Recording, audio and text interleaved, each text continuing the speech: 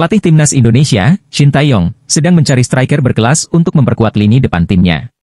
Dia mengungkapkan kebutuhan untuk melengkapi posisi striker dengan pemain yang lebih baik. Meskipun mencari pemain diaspora di posisi striker bukanlah hal yang mudah, Shin Taeyong memiliki beberapa opsi striker lokal yang bisa diandalkan, di antaranya Ramadan Sananta, Malik Risaldi, dan Dedik Setiawan. Ramadan Sananta, yang berusia 21 tahun dan bermain untuk Persis Solo, telah mendapatkan pengakuan dari Shin Taeyong.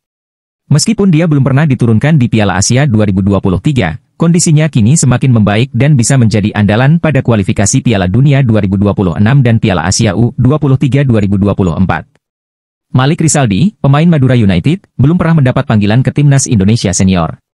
Namun, dengan performa apiknya di BRI Liga 1 2023-2024 dan kemampuannya di tiga posisi penyerang, dia layak diberikan kesempatan oleh Shin Taeyong. Dedik Setiawan, pemain Arema FC, juga menjadi pilihan. Performanya di BRI Liga 1 2023-2024 cukup apik, dengan mencetak 6 gol sejauh ini. Dia bisa menjadi pilihan alternatif bagi Dendi Sulistiawan dan Dimas Derajat yang performanya belakangan ini mengecewakan. Pelatih Timnas U20 Indonesia, Indra Syafri, meminta pemainnya untuk menunjukkan penghargaan kepada pelatih pertama mereka setelah pemusatan latihan, TC, berakhir. Dia menyarankan para pemain untuk menemui dan mencium tangan pelatih pertama mereka sebagai tanda penghormatan dan pengakuan atas peran mereka dalam karir sepak bola mereka. TC Timnas U20 Indonesia telah digelar sejak 21 Desember 2023 di Aspire Academy, Doha, Qatar, dan dilanjutkan di Jakarta.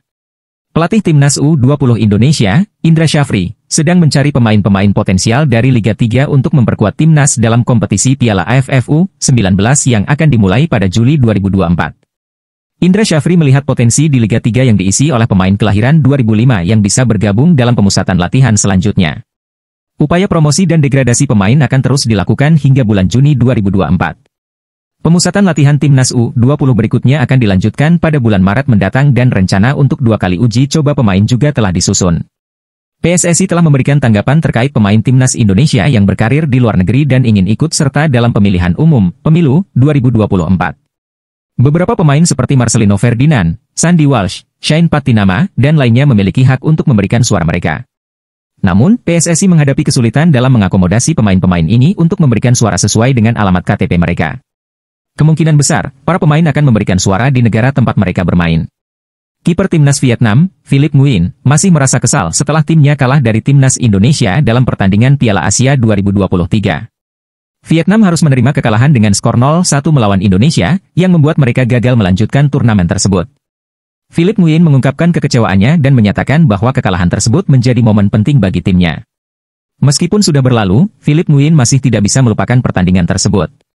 Pemain timnas Indonesia U20, Vigo Denis Saputrananto, menganggap skema promosi dan degradasi dalam timnya sebagai tantangan. Setiap pemain harus menunjukkan konsistensi dan kualitas permainan mereka untuk bertahan di skuad. Vigo sangat menikmati persaingan ini dan merasa harus bekerja keras dalam setiap latihan untuk tetap menjadi bagian dari timnas Indonesia U20. Dia memahami bahwa tim pelatih ingin memiliki pemain terbaik untuk bersaing dalam Piala AFF U19 dan kualifikasi Piala Asia U20. Pemain keturunan Sudan, Al Hamzah Basiar Osman, berbagi kesan setelah mengikuti pemusatan latihan, TC, Timnas Indonesia U20. Dia mengakui persaingan yang ketat dan keras dalam tim. Mesaal berjanji akan bekerja lebih keras jika dipanggil kembali untuk TC berikutnya. Dia juga menyebut bahwa ada persaingan di lapangan, tetapi di luar lapangan, pemain saling berbagi pengalaman dan dukungan. TC Timnas Indonesia U20 akan dilanjutkan pada bulan Maret dan pelatih berencana memanggil pemain diaspora untuk sesi tersebut.